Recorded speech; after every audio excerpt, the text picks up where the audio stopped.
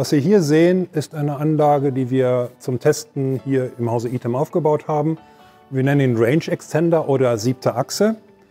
Und wir nennen ihn deshalb Range Extender, weil diese Lineareinheit, die wir hier verbaut haben, trägt einen Roboter und ermöglicht so den Aktionsradius des Roboters zu vergrößern. Der Roboter kann auf dieser 6 Meter langen Lineareinheit fahren und kann dann parallel zum Förderband Positionierungshandlungen vornehmen. Das Förderband hier ist ebenfalls ein System von ITEM, auch auf einem ITEM-Gestell aufgebaut. Und dieses Förderband fährt mit einer konstanten Geschwindigkeit und der Roboter kann sich synchron zum Förderband äh, bewegen, also aufsynchronisieren und beispielsweise hier ähm, diese Buchstabenplättchen umsortieren und bewegen. Um diese beiden Komponenten, das Förderband und die Lineareinheit zu synchronisieren, haben wir zwei weitere Elemente hinzugefügt.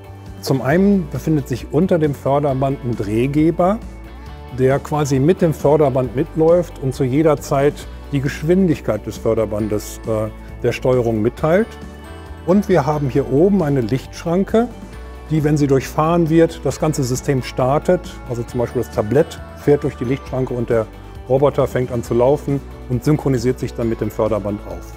Der Prozessablauf erfolgt allein über die ITEM-Steuerung. In ihr werden die Bewegungsdaten verarbeitet und sie steuert die Lineareinheit.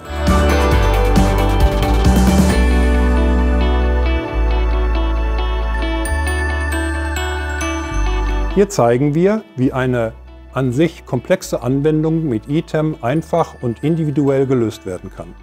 Das ITEM Grundfördersystem und auch die ITEM Linear- und Antriebstechnik können auf die Anwendung und auch auf einen Robotertyp angepasst werden.